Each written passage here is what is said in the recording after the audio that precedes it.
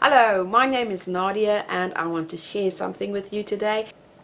If you live in Cape Town, South Africa, and you are curious about fermented food and beverages like kombucha, jun, water kefir, milk kefir and sauerkraut, that type of stuff, then you really have to save the date for 24 September 2016. I'll be showing you in person how to make water kefir. Then I'll also have some cultures available, including a sourdough starter. Come taste some apple kraut. There will be beverages like kvass, kombucha and jun. You are invited. Bring some of your extra cultures to share. If you are proud about your latest ferment, your sauerkraut or carrot sticks, any fermented food or beverage, bring it along and let's share and celebrate the gift of fermentation this spring. Come and just celebrate by being there.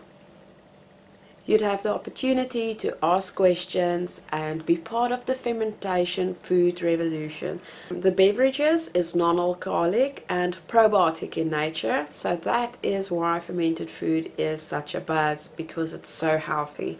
You have to RSVP for this event so that I can know how many people to expect. This event will be held at One La Piazza building, Nederburg Road, Richwood. Remember to go and RSVP and I'll see you there. Bye.